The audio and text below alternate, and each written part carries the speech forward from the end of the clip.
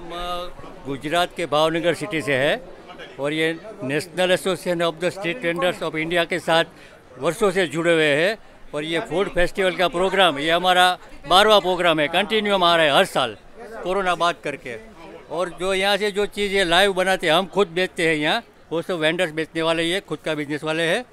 और यहाँ भी लाइव बना के आप दिल्ली वालों को खिलाते हैं और बहुत मज़ा लेती है उसको भी खाने में मज़ा आता है आइटम बड़ी टेस्टी होती है और रिस्पॉन्स भी अच्छा मिलता है और हमको भी मिलता है। क्या क्या आइटम है? आइटम में वड़ा पाव है फ़ेमस दाबेली है भावनगरी गाठिया पाव गाठिया है। इस अभी लाइव स्टीम ढोकला आज नया नया शुरू किया स्टीम ढोकला वो बगल में है हमारा स्टॉल पे है।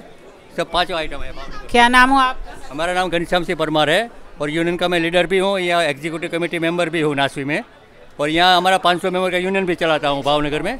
और कॉरपोरेशन के साथ छोटे लोग के साथ कुछ अनर्थ हो रहा है तो इसके लिए हम फाइट करते हैं collector commissioner DSP even high court यहाँ तक जाके हम स्टे ऑर्डर भी लिया है और 500 लोग को स्थायी किया है अपना बिज़नेस के लिए। जनरली कहा जाता है स्ट्रीट फ़ूड के बारे में कि वो हाइजीन मेंटेन नहीं रहता है तो कैसे हाइजीन हाइजीन मेंटेन करते हैं? देखो हम पूरे एप्रॉन पहनते हैं कैप पहनते हैं हैंड में ग्लोव्स लगाते हैं और जो चीज़ बनती है पूरी बिना कलर की कोई कलर अंदर यूज़ नहीं किया जाता सब नेचुरल आता है। आर्टिफिशियल कलर यूज़ कोई कोई आर्टिफिशियल कलर नहीं।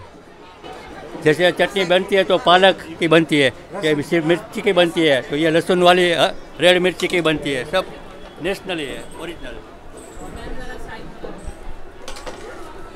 देखो ये ये मिर्ची वाली चटनी है स्पाइसी ये स्पाइसी चटनी है, ठीक है? और ये लहसुन और हरी मिर्च, रेड मिर्च, लाल वाली। ये पुदीना, धनिया और पालक उसकी बनती है।